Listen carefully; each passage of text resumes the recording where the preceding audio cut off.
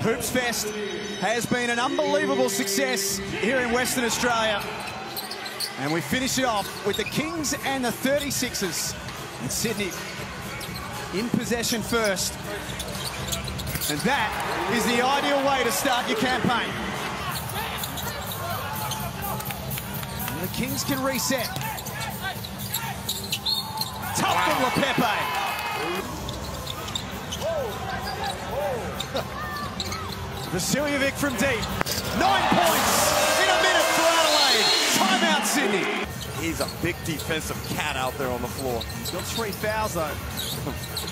That Mayen has been excellent. What an addition to this 36ers team. He looked at the side, and the boys gave him a little clap. Adams started the game with a rush, went a little quiet. Season with the Sydney Kings, former Cairns Taipan. Pass inside, Leafa finds Cooks. Sets the screen, rolls. Dude's active. Adams, that is as tough as it gets, and still found a way.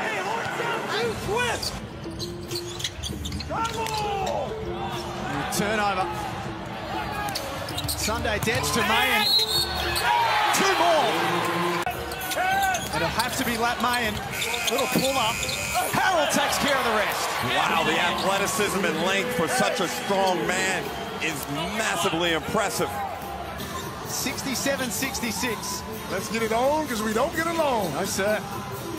It is just about to boil over at RAC Arena. Vasiljevic, look at the 36ers. Isaac Humphries out there to start the fourth quarter. We spoke about it, yet to score in the game. Has three fouls. Oliver with the lob and the finish. And that's four fouls on Isaac. He's been very good off the bench today. Someone who we've waited on for some time is Adam Speeds Toohey for a layup.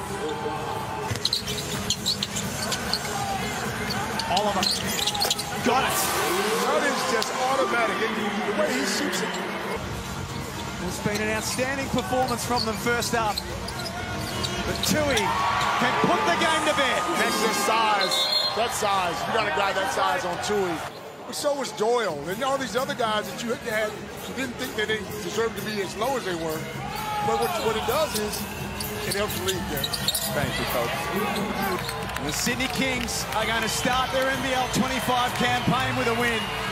102 to 94 over the Adelaide 36ers, but they were pushed right until the very end.